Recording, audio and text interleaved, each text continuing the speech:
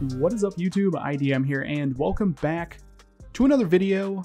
So I'm going to show you guys everything there is to know about Delta on iOS 14 and iOS 15. My iPhone is currently on iOS 15 Beta 2 and it works perfectly fine on that version. Uh, I'm a little overdue. The last time I did a Delta video was back on iOS 13, so I figured I'd better do an updated video. I'm going to show you guys basically all of the different features with Delta as well, basically how it works. Uh, so hopefully maybe you'll learn something new in this video, but to install Delta to get the application, uh, the preferred method is through the Alt Store. Now to get Alt Store, it's its own tutorial. So I will leave my video link for that in the description. It'll be at the top of the description. So if you guys uh, don't have Alt Store, basically you need to get Alt Store and then from Alt Store you can go to the Browse tab and you can install it here.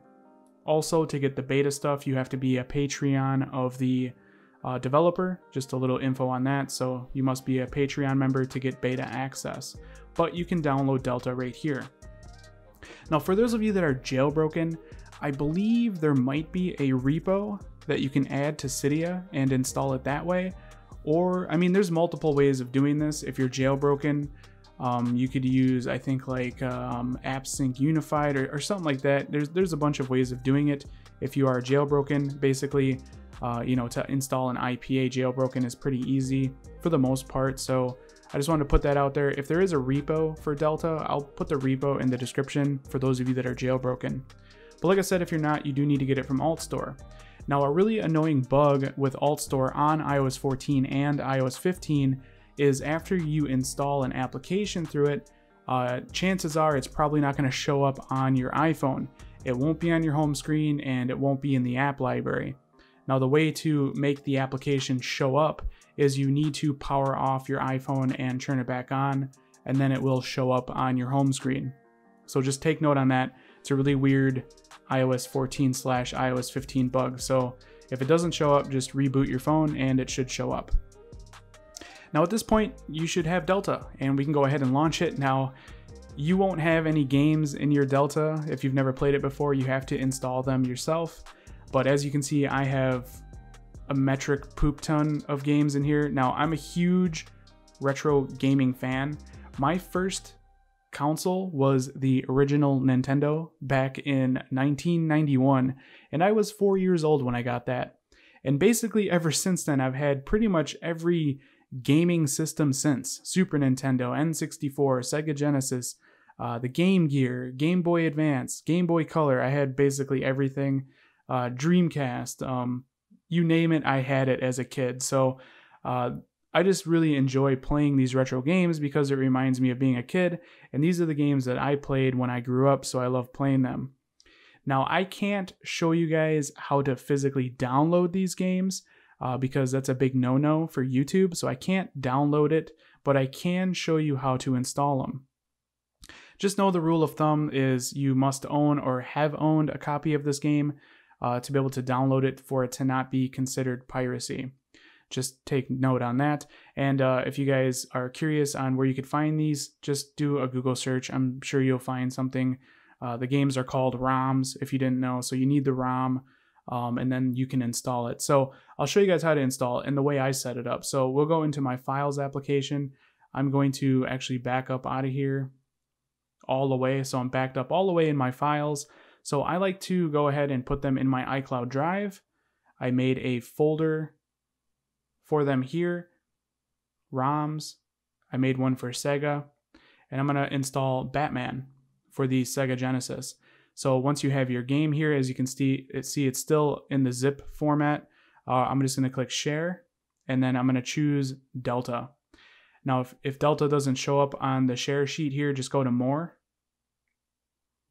and uh, scroll down a little bit and you'll see Delta right there. Just go ahead and select on it and boom, bada bing, we got Batman in our library.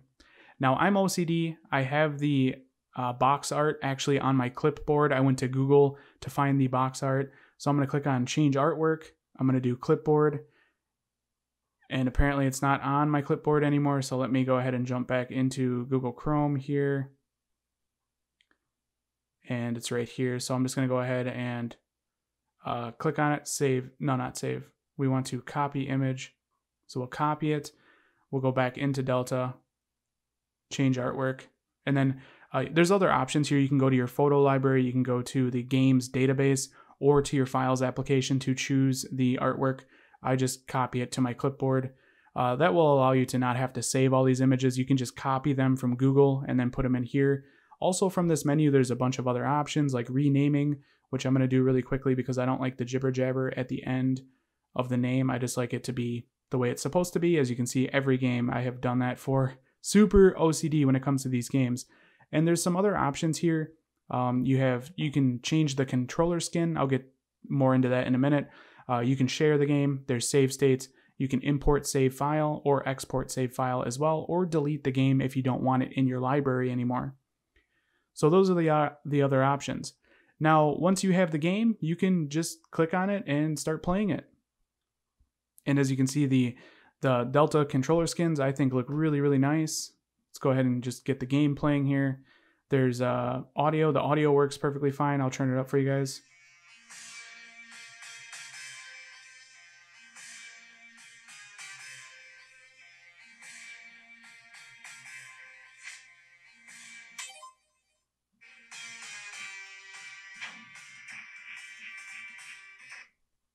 So there you go. That was pretty loud. Um, but yeah, the gameplay is perfectly fine. There's haptic feedback on the uh, controller and it feels really nice. So now I'm going to show you guys some stuff in the settings that you might not know about Delta and uh, hopefully help you guys out there. So if we go into settings here, uh, the first section here are all the different controller skins. As you can see, there is a controllers option.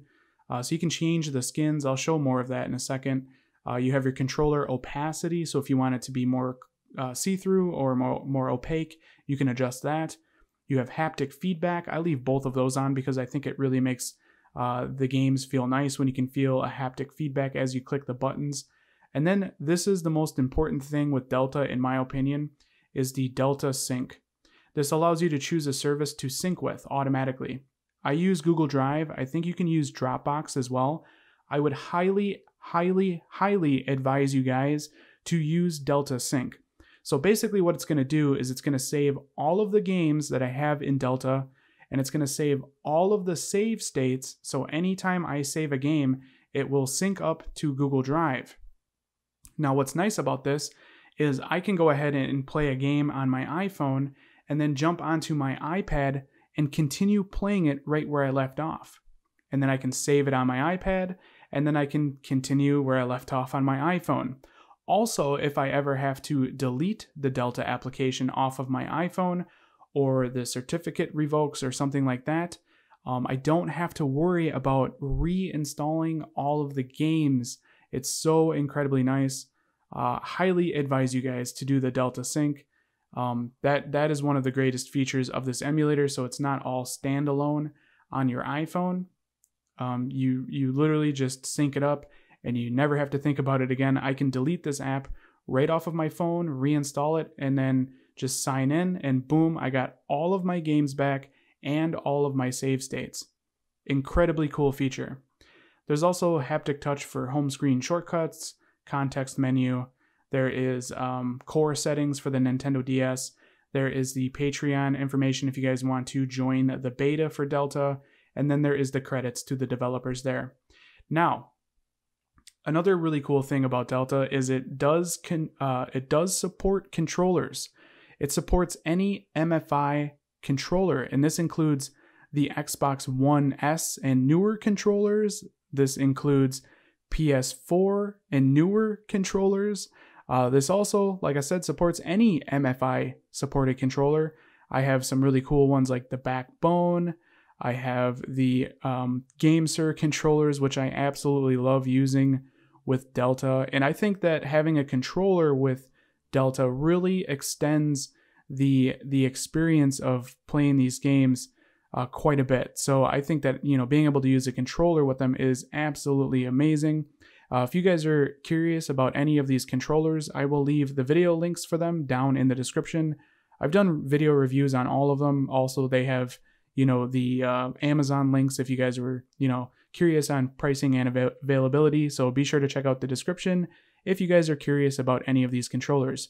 But like I said, there is controller support, And for those of you that aren't going to use a controller, there is also skin options, which I think is really cool. So for each gaming system, you can change the skin. Now, the easiest way to do this is to go into Google here and we'll go to this website. Let me clear all this and we'll back up. So Delta Skins, this website here, again, I'll leave the link for this in the description as well. Uh, you can download controller skins from this website and it's really quite cool. So uh, if we go into Nintendo 64 here, as you can see, these are the different controller skins that we can download and use in Delta, which I think is really cool. So I think that this one looks pretty sweet. So we're just going to click on it. I'm going to click on download now, download in Chrome, and then I'm going to click open in. And all I got to do is choose Delta. Now we should click done. There should be syncing. So as you can see, it's synced automatically with my Google Drive. So it saved that controller skin um, to my Google Drive. I don't even got to think about it. If we go to the Nintendo 64, as you can see, there is the portrait skin and the landscape skin. So you can adjust both of these. You just click on the skin and then you can choose a different skin. Now, uh, they come with one by default. So everything else you guys are seeing, I have downloaded. I really like the kind of white one there. This one looks cool, the one I just downloaded. And then we have this kind of black and green one. And to use it, you just select it.